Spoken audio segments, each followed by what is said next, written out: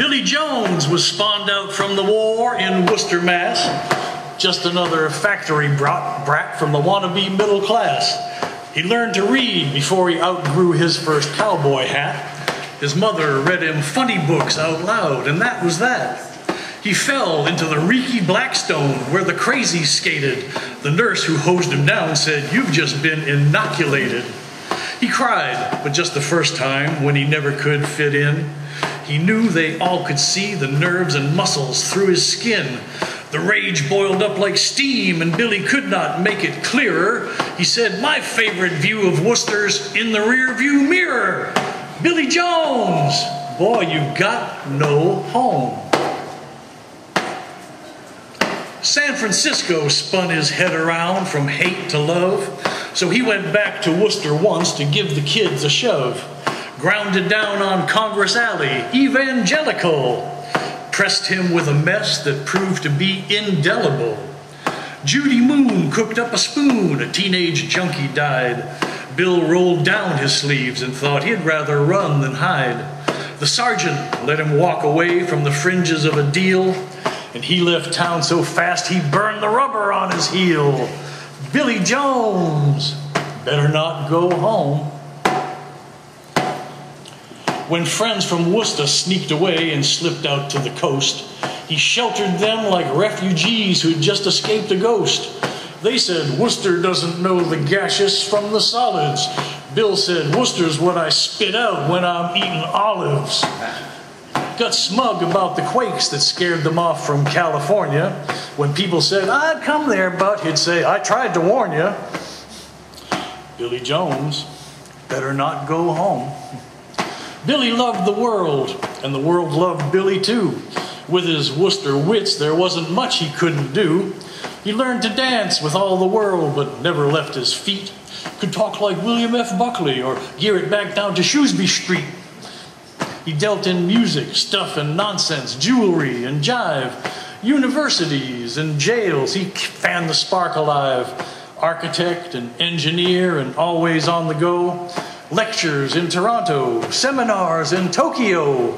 Billy Jones, why on earth go home? Then Billy's father died with kind inevitability, unless the son dies first, and that would be a tragedy. So Billy shook off adolescence, bought a suit, and flew, laid his daddy down in Worcester dirt like good sons do. He walked the memory dripping streets, a ghost among the ghosts, until he was invited to a jam thing by the hosts. He would have ducked him, but just then he couldn't make decisions. He found a backyard swarming with a mess of good musicians. Lots of folkies, lots of fogies. Some were both the same kids and mamas, Yokohamas, real time ping pong game.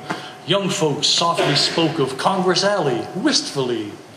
Ancient relics told the stories, contradictory. Japanese exchange students blowing like Stax Volt, honking on the saxophones. And the red headed woodpecker diddy bopping blues mama flabbergasted Billy Jones.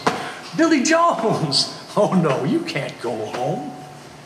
Then Mary Lou, the queen of cheer, popped up before you know it and said, I think you're Billy Jones, the drunken teenage poet. I guess that's who I was, but I don't think so anymore. I, I filled up that ambition by the time I hit the door. But why would you remember some weird punk you knew in school? weird, you bet, but everybody thought that you were cool. I wish they'd told me then, said Billy Jones, and had to chuckle. Mary Lou, laughed and hugged him hard, and his knees began to buckle. Everybody here is weird, she said, down to their bones. Way too weird to ever dare to dream of throwing stones. There's an academic steam fitter, show farm horse trainer, pre med Persian Jew. People come to Worcester now on purpose. No, it's true. German igloo sculptor, Loopy Larry, Lazy Red, that poet with the wolf howl, clawed the eyes out of his head. Afro Nipmuc, genius, dumbfuck, Syrian Afro Greek, antique funk freak playing hide and seek with a geek. Now that's unique. Ben keeps bees and Bell trains fleas and Deb cleans the chimney flue. Tex-Mex soul painter, greeny white witch saint, a luthier, and me and you. Bill said, Looks like Worcester's pulled itself up from the slime. She punched his arm and said, I like it better all the time. Well, I've been in duller crowds in London, Amsterdam, and Rome. So who messed up the roots of my old sweet unhappy home? Well, maybe, baby, maybe Worcester always had the goods. You left so young you only knew the beatniks and the hoods. Then Mary Lou, the queen of cheer, gave up a wink and grin. Ain't it funny, Billy Jones, the way you fit right in? Mr. Bluster, ain't it funny how you fit right in? Billy Jones, you think you can't go home? Billy Jones, baby, welcome home.